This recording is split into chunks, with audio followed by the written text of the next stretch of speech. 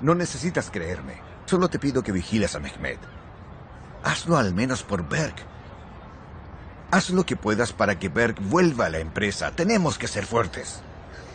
Pero Berg no quiere volver. Va a querer. Voy a convencerlo.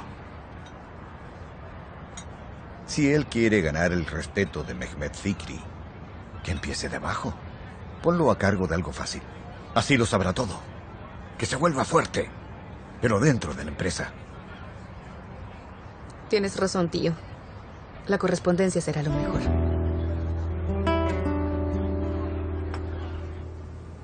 ¿Te sientes mejor, Gumos?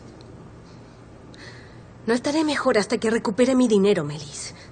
Ay, Dios, y debo pagar la máquina que trajo en Jean. Lo peor es que tampoco le he pagado a las chicas.